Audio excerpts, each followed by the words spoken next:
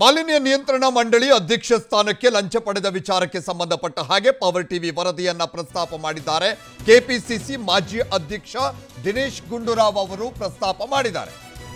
Power TV ವರದಿಯನ್ನ ಪ್ರಸ್ತಾಪ ಮಾಡಿದ್ದಾರೆ ಕೆಪಿಸಿಸಿ ಅಧ್ಯಕ್ಷ.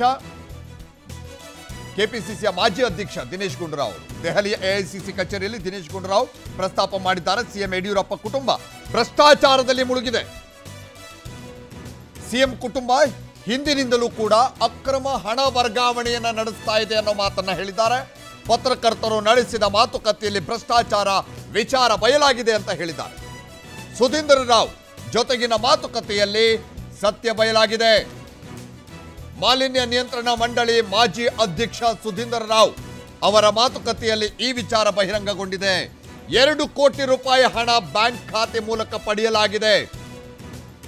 ವಿಜಯೇಂದ್ರ ಶಶಿಧರ್ ಮರಡಿ ಸಂಜಯ್ ಶ್ರೀ ಭ್ರಷ್ಟಾಚಾರದಲ್ಲಿ ಭಾಗಿಯಾಗಿದ್ದಾರೆ. ಬಲವಂತವಾಗಿ ಸಹಿ ಹಾಕಿಸಿಕೊಳ್ಳಲಾಗಿದೆ ಅಂತ ಆರೋಪವನ್ನ ಕೂಡ ಮಾಡಲಾಗಿದೆ.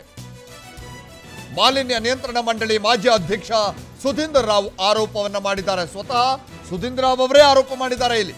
ರಾಜ್ಯವನ್ನ ಯಡಿಯೂರಪ್ಪ ಮತ್ತು ವಿಜಯೇಂದ್ರ ಪ್ರತಿ ಹಂತದಲ್ಲೂ ಕೂಡ ಲೂಟಿ ಮಾಡ್ತಾ ಇದ್ದಾರೆ.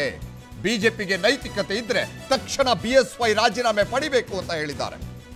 ಜೆಪಿ ನಡ್ಡಾ ಮತ್ತು ಅಮಿತ್ ಶಾಗೆ ದಿನೇಶ್ ಗುಂಡೂರಾವ್ ಆಗ್ರಹಿಸಿದ್ದಾರೆ. ಪ್ರಕರಣವನ್ನ ನ್ಯಾಯಾಂಗ ತನಿಖೆಗೆ ಆಗ್ರಹ ಮಾಡ್ತೇನೆ ಅಂತ ಕೂಡ ದಿನೇಶ್ ಗುಂಡೂರಾವ್ ಹೇಳಿದ್ದಾರೆ. ಮಾಲಿನ್ಯ ನಿಯಂತ್ರಣ ಮಂಡಳಿ ಅಧ್ಯಕ್ಷ ಸ್ಥಾನಕ್ಕೆ ಲಂಚ ವಿಚಾರಕ್ಕೆ ಸಂಬಂಧಪಟ್ಟ ಹಾಗೆ.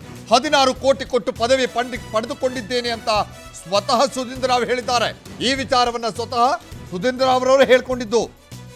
ನಾನೇ ಕೊಟ್ಟಿದ್ದು ಅಂತ ಹೇಳ್ಕೊಂಡಿದ್ದಾರೆ. ಮರಿಸ್ವಾಮಿ ಮೂಲಕ ಹಣ ವರ್ಗಾವಣೆ ನಡೀತು ಅಂತ ಹೇಳಿದ್ದಾರೆ. ಮರಿಸ್ವಾಮಿ ಸಿಎಂ ಯಡಿಯೂರಪ್ಪ ಅವರ ಸಂಬಂಧಿಕ ಇದೇ ಮರಿಸ್ವಾಮಿ ದುಡ್ಡು ಪಡ್ಕೊಂಡಿದ್ದಾರೆ. ಬಿಜೆಪಿ ಹೇಳುತ್ತೆ, ನಾವು ಕಾವುಂಗ, ನಾ ಕಾನೇದುಂಗ ಅಂತಾರೆ. ಕರ್ನಾಟಕದಲ್ಲಿ ತ್ರಿಮೂರ್ತಿಗಳಿದ್ದಾರೆ. ಕರ್ನಾಟಕದಲ್ಲಿ ವಿಜಯೇಂದ್ರ, ಶಶಿಧರ್ ಮರಡಿ ಹಾಗೆ ಸಂಜಯ್ ಶ್ರೀ ಇವರೇ ತ್ರಿಮೂರ್ತಿಗಳು. ಪರಿಸರ ಮಾಲಿನ್ಯ ನಿಯಂತ್ರಣ ಮಂಡಳಿಯಿಂದ ಎನ್ಒಸಿ ಬಿಎಸ್ವೈ ಕುಟುಂಬಸ್ಥರಿಗೆ ಸೇರಿದ ಸಂಸ್ಥೆಗಳಿಗೆ ಎನ್ಒಸಿಗಾಗಿ ಬಲವಂತ ಮಾಡಿದ್ದಾರೆ. ಡಾವೋಸ್ನಿಂದ ಸಿಎಂ ಕರೆ ಮಾಡಿ ಫೈಲ್ ಕ್ಲಿಯರ್ ಮಾಡೋದಕ್ಕೆ ಒತ್ತಡ ಹಾಕಿದ್ದಾರೆ. ನಿಯಮ ಮೀರಿ ಎನ್ಒಸಿ ನೀಡಲು ಸಾಧ್ಯ ಇಲ್ಲ ಅಂತ ಹೇಳಿದ್ದಾರೆ. ಆಗ ನಕಲಿ ರಾಜೀನಾಮೆ ಪತ್ರ ಸಿದ್ಧಪಡಿಸಿದ್ದಾರೆ. ದೆಹಲಿಯಲ್ಲಿ ಪವರ್ ಆನ್ ಸ್ಟಿಂಗ್ ಆಪರೇಷನ್ ಬಗ್ಗೆ ದಿನೇಶ್ ಗುಂಡೂರಾವ್ ಪ್ರಸ್ತಾಪ ಮಾಡಿದ್ದಾರೆ ಈ ವಿಚಾರವನ್ನ. ಸ್ವತಃ ಮಾಲಿನ್ಯ ನಿಯಂತ್ರಣ ಮಂಡಳಿಯ ಮಾಜಿ ಅಧ್ಯಕ್ಷರಾಗಿದ್ದಂತಹ ಸುಧೀಂದ್ರ ರಾವ್ ಅವರ ಹೇಳ್ಕೊಂಡಿದ್ದಾರೆ. ನಾನು ಹದಿನಾರು ಕೋಟಿ ಕೊಟ್ಟಿದ್ದೇನೆ ಅಂತ. ಸಿಎಂ ಪರಿವಾರದ ಒಂದಷ್ಟು ಫೈಲ್ಗಳನ್ನು ಕೂಡ ಕ್ಲಿಯರೆನ್ಸ್ ಮಾಡಿಕೊಳ್ತಾರೆ ಇವ್ರ ಮೂಲಕವಾಗಿ.